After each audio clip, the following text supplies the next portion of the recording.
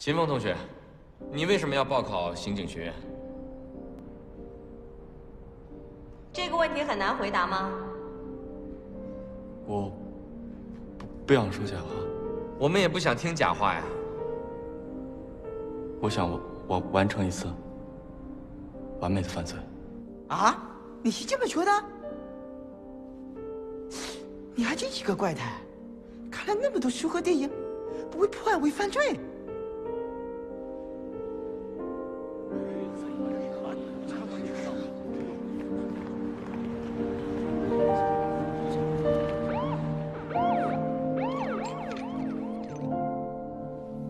和你那一直在狱里的老爸有关系？